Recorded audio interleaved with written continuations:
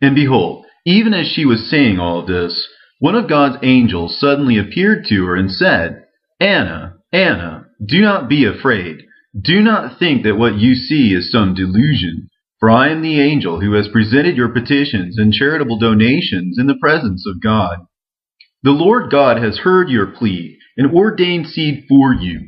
You will conceive and give birth, and your child's name will be the talk of the whole earth. All generations will marvel at what you are to bear, even until the end of the age. As my Lord is the living God, Anna replied, if a child is given to me, be it either a boy or a girl, I will give it to the Lord my God, and it will serve him all the days of its life. Then the angel said to her, I have been sent to let you know that you are to bear a daughter. You are to call her name Mary, and she will be favored above all other women. And as soon as she is born, she will exhibit qualities like those of the Lord. She will be brought up in her father's house until the three years of her weaning run out. Then she will be given to the service of the Lord. She will never set foot off the temple grounds until she reaches the age of discretion. In short, in that place she will serve the Lord, fasting and praying day and night, keeping away from every unclean thing, and never lying with a man. This will be unparalleled. A virgin will give birth to a son in a pure and undefiled manner. Without sleeping with a man, a young woman will bring forth the Lord,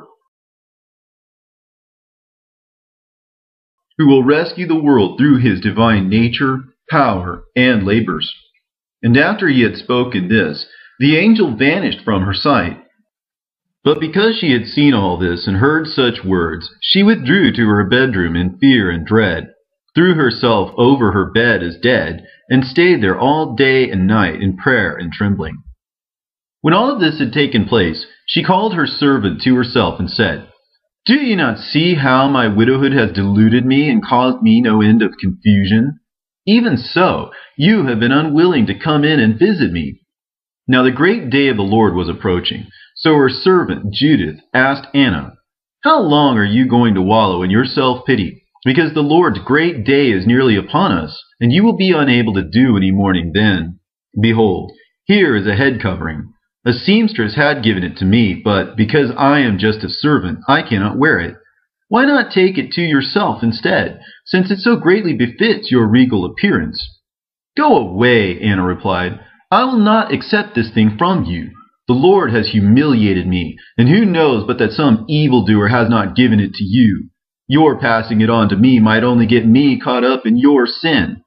Somewhat sullenly, Judith replied, And how am I supposed to bring a curse down on you, seeing that you never even listen to me? The Lord God has sealed your womb, that you might not bring forth any children in Israel. If God himself has closed your womb and taken your husband away from you, what could I possibly do to you? And when Anna heard that, she raised her voice and wept aloud.